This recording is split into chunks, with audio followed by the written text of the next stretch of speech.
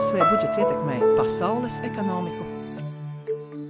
ASV ir pasaules lielākā tautsājumniecība. Tā ir nozīmīgs tirzniecības partneris daudzām pasaules valstīm. Dolārs ir pasaules rezerves valūta, un ASV valsts vērtspapīri ir visvairāk tirgotie pasaulē.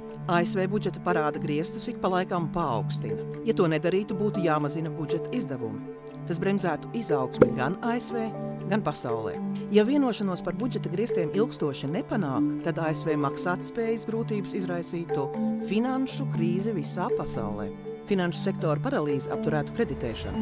Uzņēmēji, patērētāji un starptautiskie tirdzniecības darījumi paliktu bez nepieciešamajiem finanšu līdzekļiem, iestātos globāla tautsaimniecības lejupslīde. Kad bankrotēja Lehman Brothers, tas pasteidzināja krīzi arī Latvijā.